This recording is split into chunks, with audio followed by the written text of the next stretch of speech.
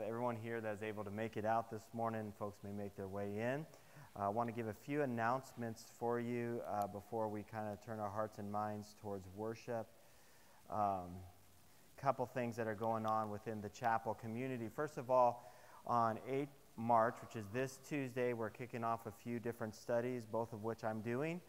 One is our grief recovery uh, group. We're kind of doing a book study. Um, I'm in the midst of getting certified uh, uh, through this curriculum. Uh, but while we do that, we're going to be studying this book together. So um, this is really a program help to help people um, recover from loss, and it's it's it's actually moving beyond anything death, divorce, or other losses, including health, career, uh, and even your faith. And so. Uh, we have that group on Tuesdays at 1700, so pretty much at the end of the working day. If you'd like to join us, it'll be right here in the chapel uh, annex uh, getting to know each other and starting to go through that. So we kick that off on 8, 8 March, and we'll see how that group goes. Uh, and then on the evening of March 8th, on Tuesday, is our normal Bible study. Um, we'll be meeting uh, at 1900 in the annex. Dinner is provided, uh, so you can choose to eat with us. Or sometimes people eat before, uh, but we usually do kebabs or master's chicken.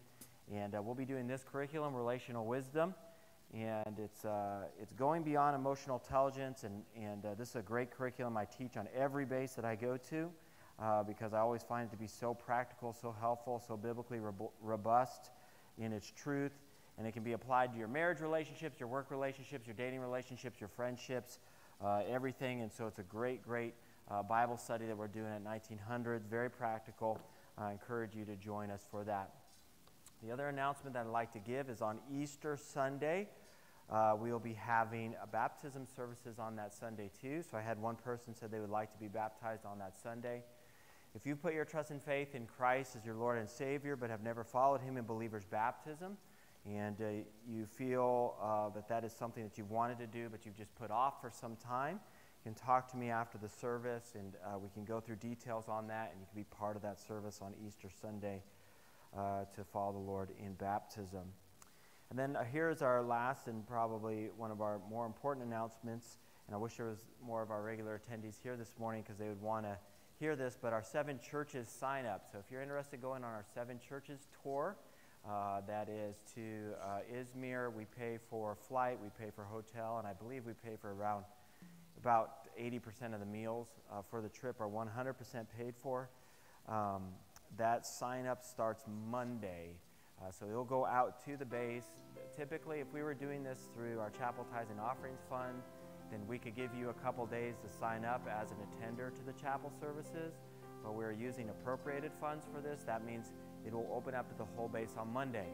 But if you're interested in going, uh, then I encourage you to email me, Daniel.ruiz, that's R U I Z, dot 18, as soon as possible. Uh, and even I'd follow up with a walk in on Monday. Emery Koshin is our local national. He's in charge of those sign-ups. These trips usually fill out with the, on the day that they are released. Uh, they will fill up really quickly. And some of the spots are pretty much beginning to be spoken for already. So uh, if you're interested in that, it is March 25th, 26th, and 27th. That's a Friday, Saturday, and Sunday. Uh, we get back on base Sunday evening. Let's go to the Lord in prayer and ask His blessing upon our services uh, as we prepare our hearts and minds for worship. Let's pray together. Gracious Heavenly Father, we thank you for this opportunity to gather and to worship you together. I pray that you be with uh, each part of the service, whether it's uh, the preaching of God's Word, uh, the singing of songs, worshiping through giving, or the uh, observance of communion at the end of the service. God, I pray that uh, you just bless each element. I pray that you will be lifted up. Pray that you will meet us in the midst of our needs, that you will speak to us, that we will draw near to you, that we will repent of the areas of our life that need repenting of, and we will follow you, our Lord and our Savior. We ask these things in Jesus' name. Amen. I invite you to stand with me this morning as we sing songs to the Lord. Let's sing together.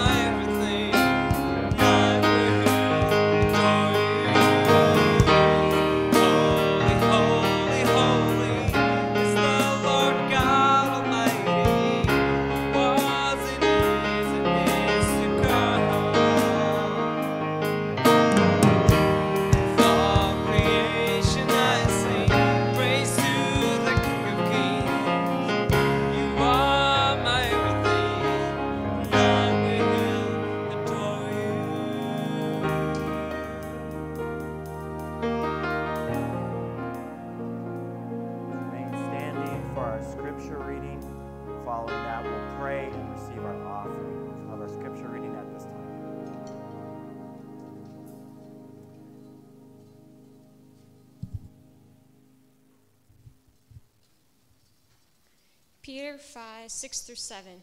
Humble yourselves, therefore, under God's mighty hand, that he may lift you up in due time.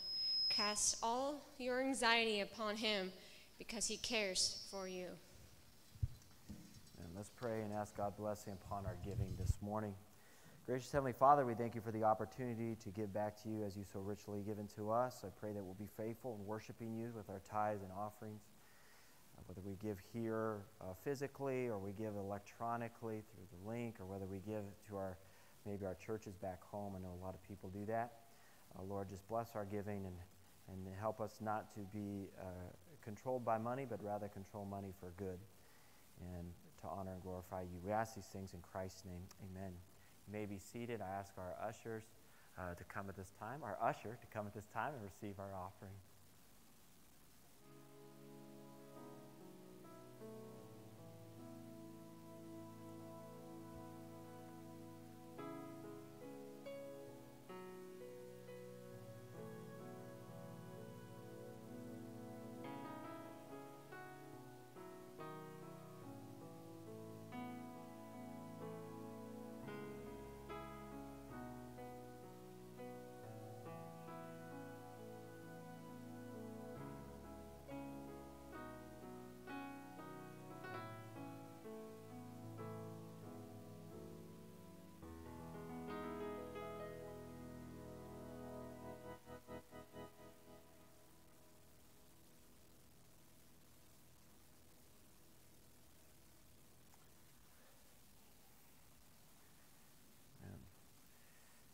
Want to give this announcement one more time um, before I get into the Word of God because we had a lot of people come in late. Uh, the Seven Churches trip, uh, sign-ups for it drop Monday. Uh, because we're doing this through the certain line of funding that we're doing it, we have to open it up to the whole base. We, do, we can't give a certain amount of time for our congregations in the Protestant and Catholic community to sign up for that. So if you want to go on it, uh, you can give me your name, and uh, your email and information after service, or email me quickly at daniel.ruiz.18. And uh, Emery Koshin is our POC for that. That's the person that's going to be handling the signups. So you probably want to s- follow up with Emery on Monday because uh, they do tend to fill up pretty much within 24 hours. It is a Friday, Saturday, Sunday, March 25th, 26th, and 27th. Airfare, hotel, and food is covered for the trip. And uh, so you maybe have to buy one or two meals on your own. Um, and it's best hotel we could get. Uh, everything's very nice. It's a, it's a great job. The chapel does a great job putting these on. So if you're interested in that, you guys have the sneak preview. Okay, that's the best that I was allowed to do. Um, so please, uh, if you're interested, let me know immediately after the service. Otherwise, we're in the Word of God this morning. We'll be looking at a couple different verses. Philippians chapter 4, verses 4 through 7 will be the first text that we're in. It's kind of our foundational passage in this series about anxiety. You know, you heard me say this when we, the first series that I did when I arrived here, I talked about that our mind is really where the biggest battles, most of our biggest battles take place in our spiritual life, within our mind, within our heart. It's controlling our mind and di- directing the affections of our heart into the, into the direction of God and away from the things of this world where the spiritual life is really played out. Much is talked about when it comes to this area of anxiety uh, within the military because, uh, like I said last week, we tend to be, the profession of arms lends itself towards anxiety. You're anxious about who you're going to work with, you're anxious about whether you'll be deployed. We're always anxious about whether there's going to be some major war, some major conflict. Uh, we're drilling all the time, right? Uh, you have other pressures that are put upon you in the military. I joke all the time, say, you know, the, how, tell me that you're in the military without telling me you're in the military. And I say, you show up 15 minutes early for a meeting that starts 15 minutes late. Uh, that is kind of the, the, the, the, the state of readiness that we are required to live in, sometimes cultivates a real spirit of anxiety within our lives. And so it's pretty commonplace for me as a chaplain to sit down with uh, people, especially people that are new to the Air Force, and they're saying, hey, I didn't realize this, but I think I have some anxiety issues. I find myself having panic attacks and being filled with fear. You know, oftentimes we engage with people that look like they have it all together. They look strong on the outside, but on the inside they're weak. They're falling apart. They may look confident in public settings and in certain sector or cer- certain uh, uh, uh, settings of life. They may look confident, but in reality, they are filled uh, with fear.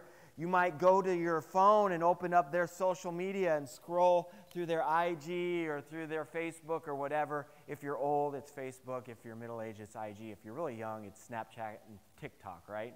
Uh, I, don't, I don't even do those things. I'm too old for that. If I'm on Snapchat, it's creepy. If you're on Snapchat, it's normal, right? Uh, but uh, you go through someone's social media and they look like they are all healthy, happy, and wise, yet you find out that they are really hurting on the inside if you knew them personally. The reality is that many of us in the decision saturated culture that we live in, the consumer driven culture that we have to survive in, and the military culture that we all operate in, are oftentimes in a state of anxiety, where we feel overwhelmed by the decisions we have to make, the tasks that we have to do and the image that we are supposed to keep up. We might feel uncertain about who we are, what we believe, and where we're headed in life. We might feel like we are struggling to keep our head above water with the amount of, uh, responsibilities that are hoisted upon us. We might just generally feel a constant pressure to perform.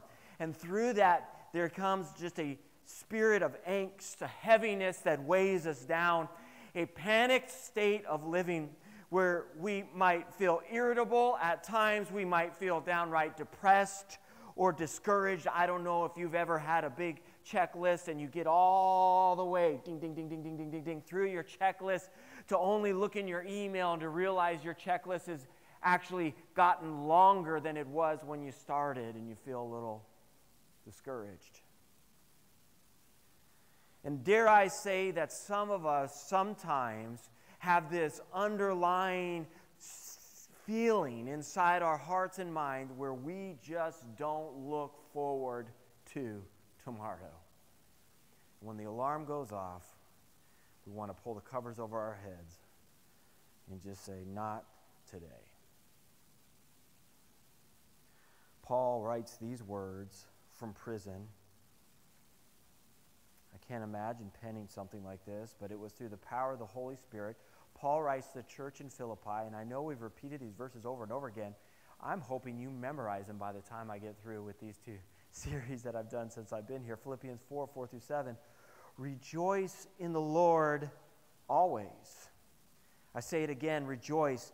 Let your gentleness be evident to all. The Lord is near. Do not be anxious about anything, but in every situation by prayer and petition with thanksgiving. Present your requests to God, and the peace of God, which transcends all understanding, will guard your hearts and your minds in Christ Jesus. The advice here is in every situation to respond to anxiety through prayer and petition and to take your requests unto God. We're going to look at these three portions of text this morning, every situation. Is it a sin, I ask you this morning, to feel anxious about some of the situations that you find yourself in? Is it, fear, is it a sin to be anxious about maybe the things that you're reading in the headlines in the news? Is it, feel, is it sin to be anxious about the stuff you got to deal with in life or whatever you're personally going through? I would say, I'd propose to you that that anxiety as a feeling is not necessarily a sin. God doesn't want us to stay in it and dwell in it, He wants us to operate by faith. Uh, but feeling that way is not necessarily sin. What I would propose to you is that we go back and we think about Jesus in the Garden of Gethsemane, right, before his death on the cross, uh, is kind of a, a, a picture of Christ himself being filled with this spirit of anxiety and was crushed with the dread of the death that was coming his way, so much so that he prayed to the Father, Let this cup pass from me. He didn't want to be separated from the Father. He didn't want to see the, the Godhead to be fractured. He didn't want to go through the pain and suffering that he knew was just uh, about 24 hours away. And so, while we see him in a state of anxiety, we also see him do something. What does he do? He prays, doesn't he? He prays. See, my friend, anxiety is not necessarily a sin, it's a symptom, it is a signal in your life. Uh, I'm a cheap person generally. I don't like being in debt, so all the vehicles that I have bought my entire life have been used. And I always pay cash for the vehicles that I buy. Uh, I buy cars that have been depressing to drive, and I've been able to work myself up to buy in cash some cars that are not that embarrassing to drive. I don't know if I've ever told you the story about the 1998 forest green Chevy Astrovan that I used to cruise around in Southern California in. Uh, I was a bad dude in that car. And I remember driving that car. Uh, we live near Palm Springs. Palm Springs, like Las Vegas, Nevada, it gets super hot. And I'd have to drive, uh, this was when I was pastoring in California, I had to drive from my house down there about 30 minutes. And it was so hot that I'd have to, I had no air conditioning in my sweet ride that I paid $2,500 for. I had to take my shirt off and drive with my shirt off and the windows down because I'd be drenched in sweat by the time I got to work. And uh, speaking about a depressing moment in my life, I don't know if I told you the story. One time I was driving down to 10 and I was depressed. Go do my dumb job, you know? And a guy in a uh, like a Corvette or a BMW flew by me. Like got behind me. I was in the fast lane, flashed his lights, got all impatient, flew by me. You know, laid on his horn. This beautiful black BMW. You know, I could feel the wind enter my car.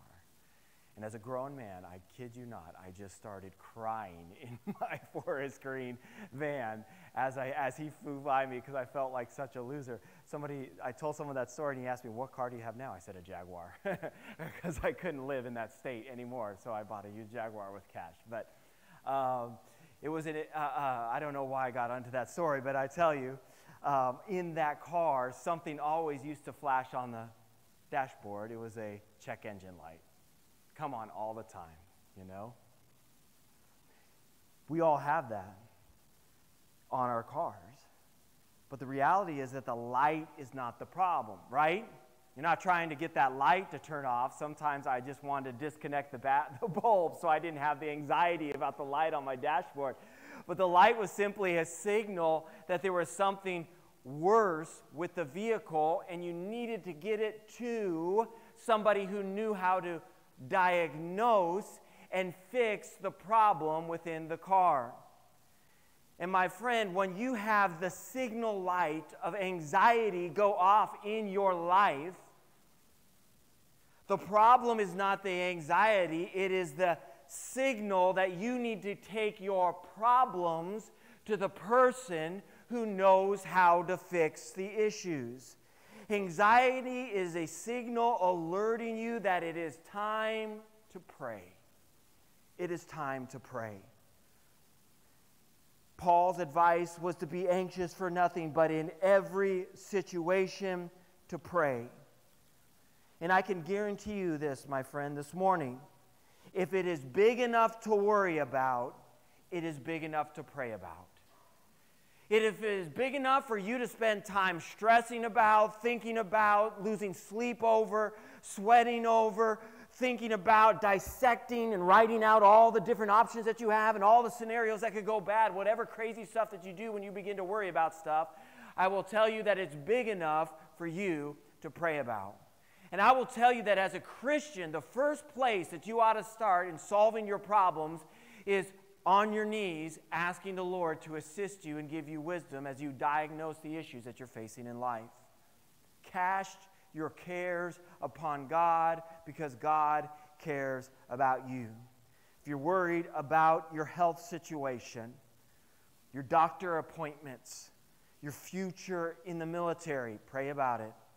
If you're worried about the decisions that you need to make in life about the uh, uh, maybe about reenlisting or, or getting out or retiring or financial decisions or whether you should marry someone or not marry someone, break up with someone or continue dating someone, pray about it.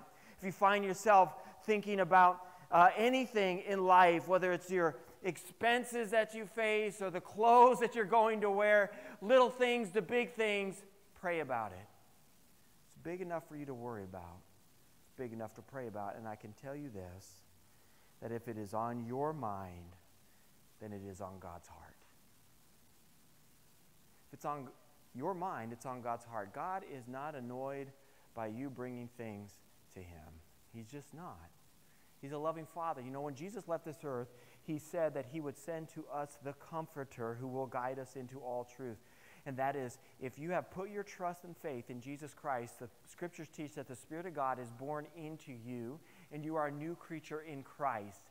And the Spirit of God guides you into all truth. He teaches you, helps you learn what the Word of God says, but He also guides and directs you in the life that you ought to live.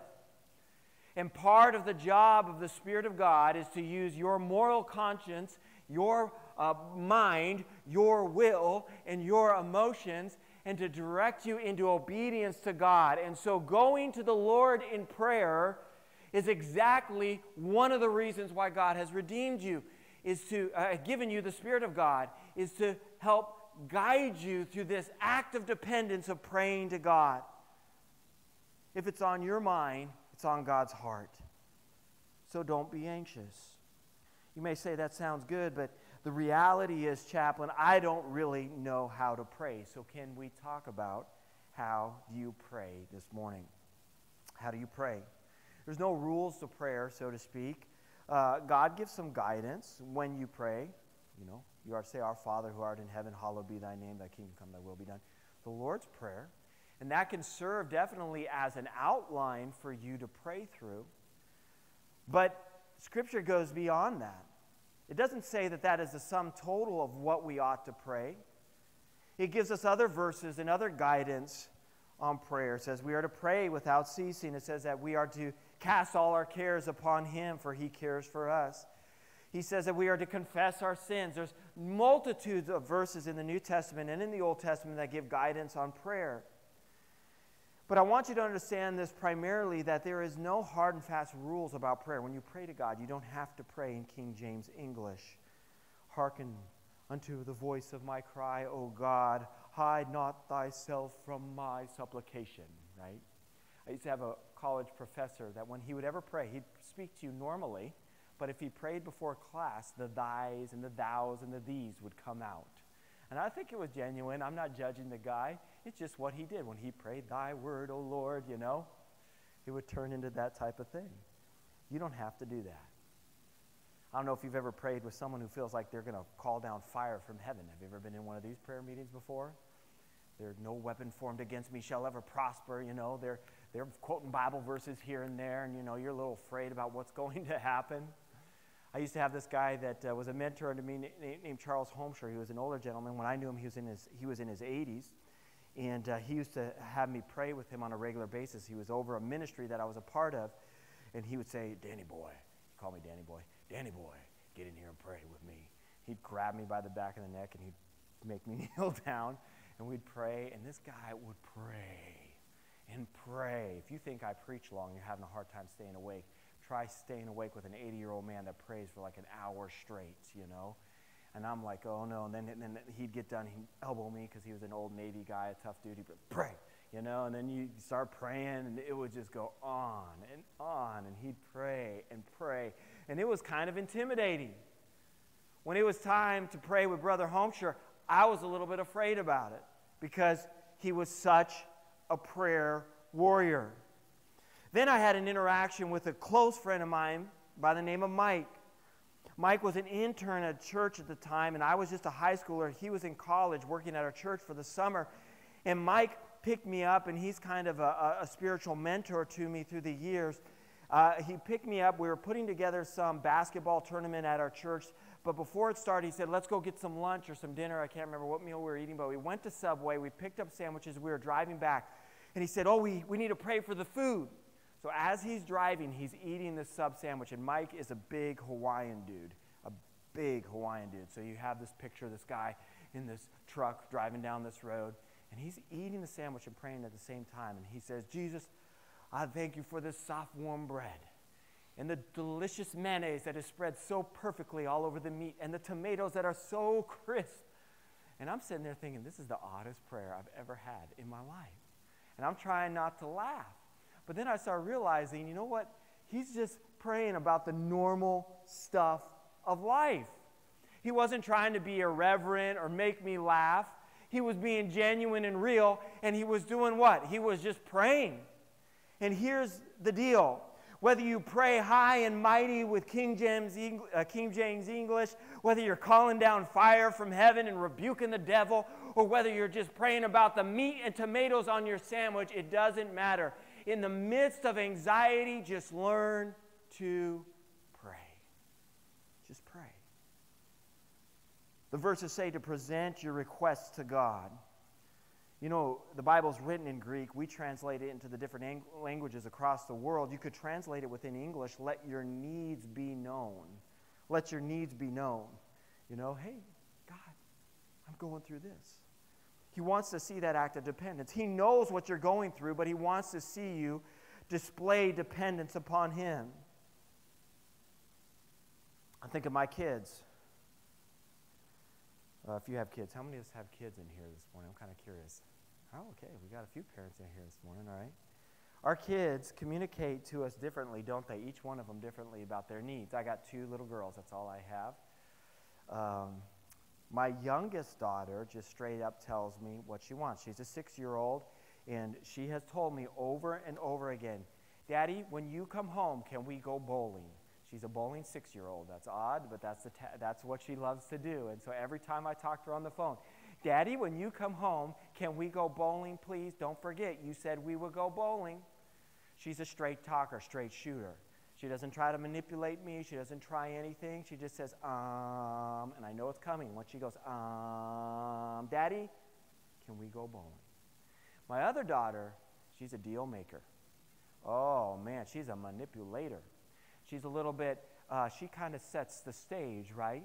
If she wanted to go to McDonald's, she's not going to say, Daddy, can we go to McDonald's? She'll say, Daddy, have I been a good girl today? I'll say, Yeah, you've been a good girl.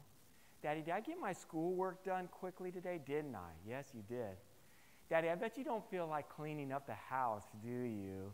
No. What do you want, Jail? What do you want? Daddy, can we go to O McDonald's? Because they call O McDonald's. I don't know why. Uh, can we go to O McDonald's? Yes, we could go to O McDonald's. You know, they have different ways that they ask, but it doesn't matter how they ask. In the end, I just love that they ask.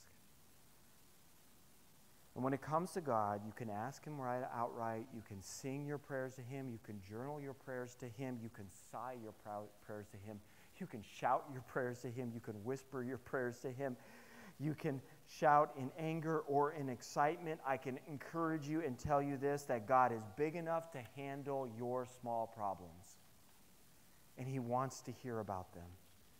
They may be small compared to His power, but they are not trivial compared to His love that He has for you.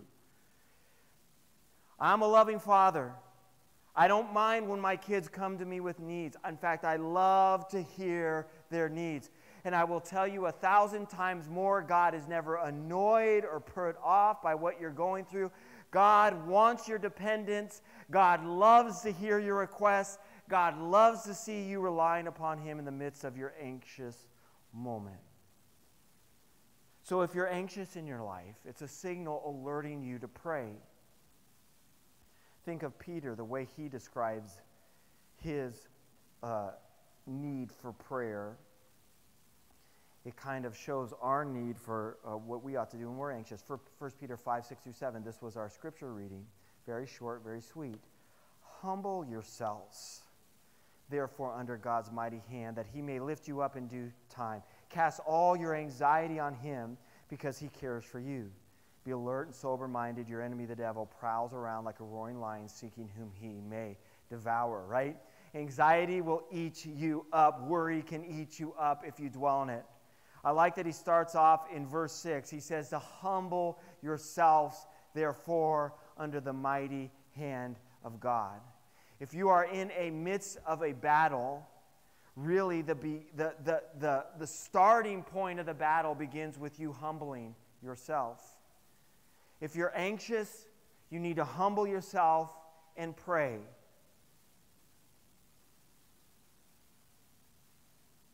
If I have to get something done, the most important thing I can do is pray, not work harder.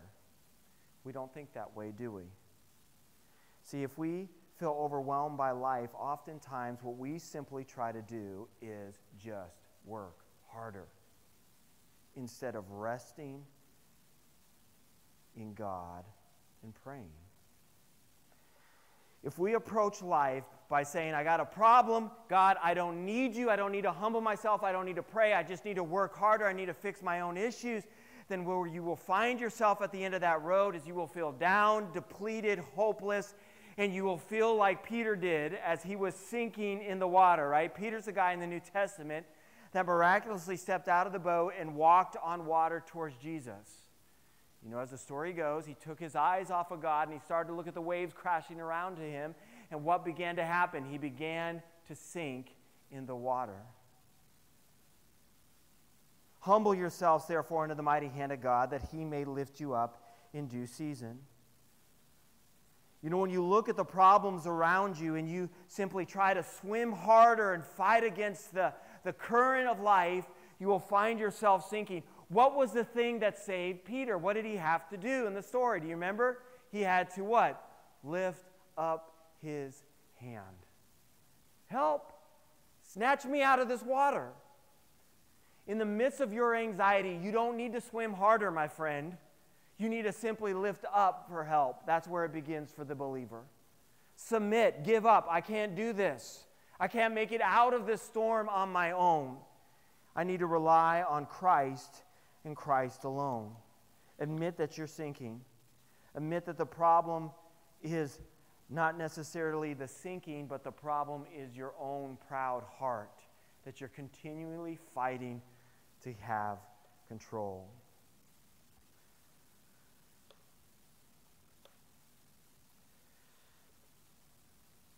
See, what we do oftentimes is we don't respond with prayer, we respond with worry, don't we? We don't respond with prayer, we default to a worry, anxious spirit and heart. And we get into what is called, what I call the cycle of anxiety, right?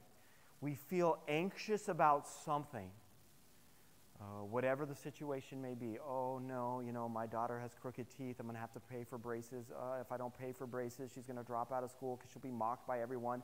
And then one day I'm going to see her homeless on the side of the road. And I'm going to think, oh, my goodness, my child's a loser because I didn't buy the bracelets. You know, whatever the stupid path that we go down. We get anxious about something. We think about it over and over again.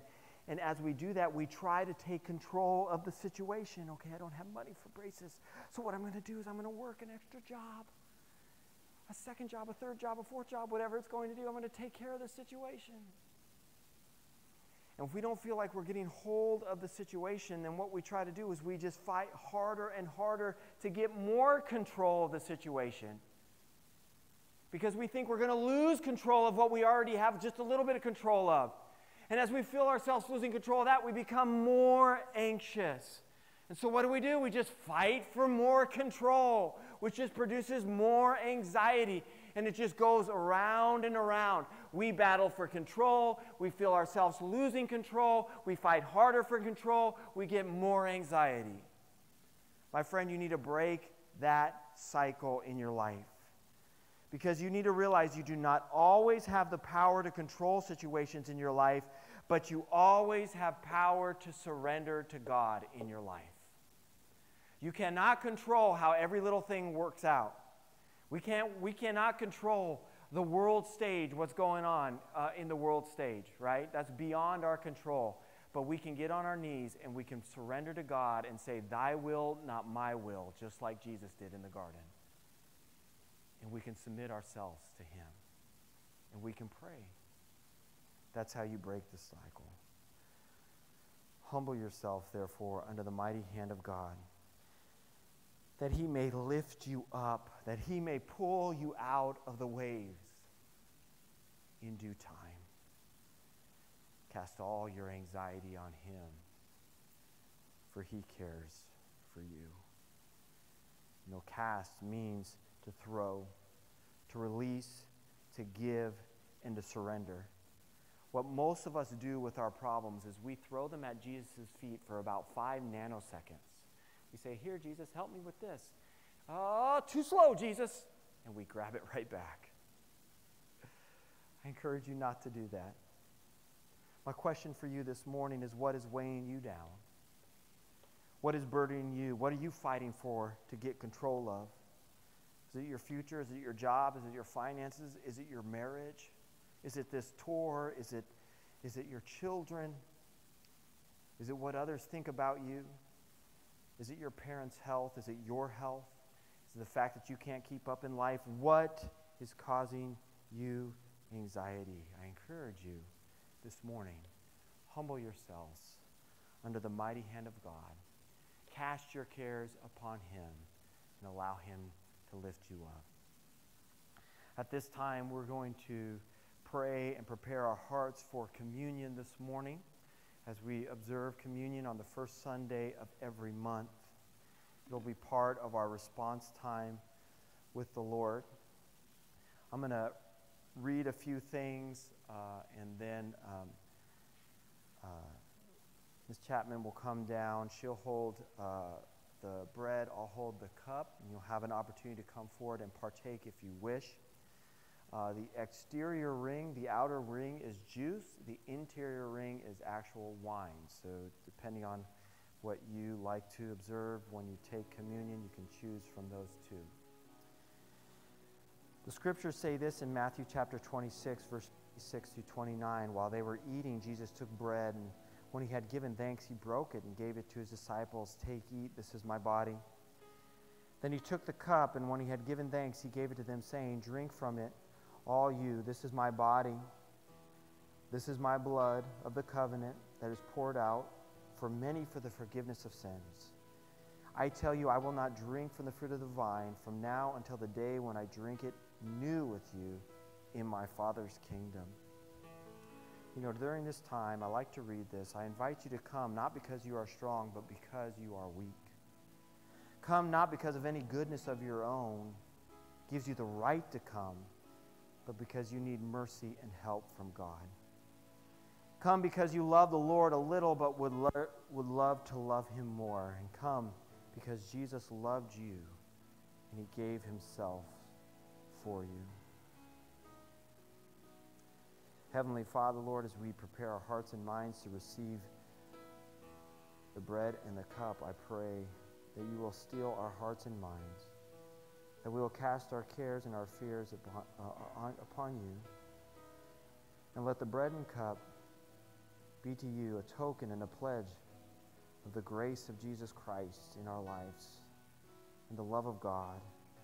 And may the fellowship of the Holy Spirit dwell among us as we receive these elements by simple faith. We ask these things in Christ's name. You will take the elements and then return to your seat and we'll receive together.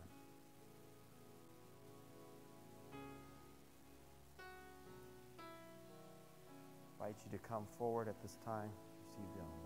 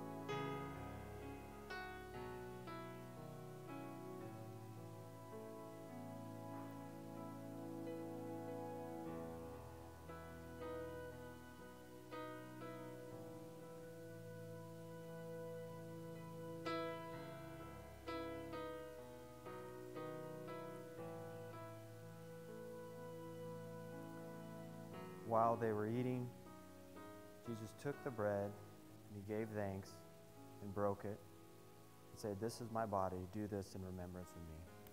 Do this in remembrance of him.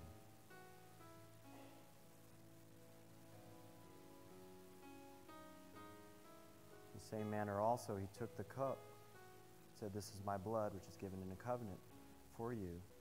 Do this in remembrance of me, in remembrance of him.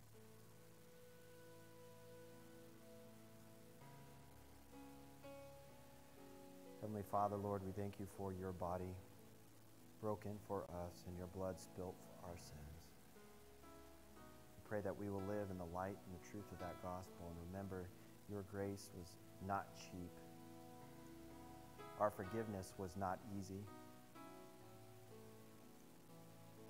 Lord, help us to remember, Lord, that you are not far from our needs, our greatest needs, that you left the glories of heaven to live amongst us, to die on that cross for our sins. The story does not end there. You were buried and you rose again. And one day, we will gather as the church of God and we will celebrate in a meal together and look forward to that day. In Christ's name, amen. Let's stand together and in response, we'll sing our final song and we'll have a benediction and our dismissal. Stand with us we peace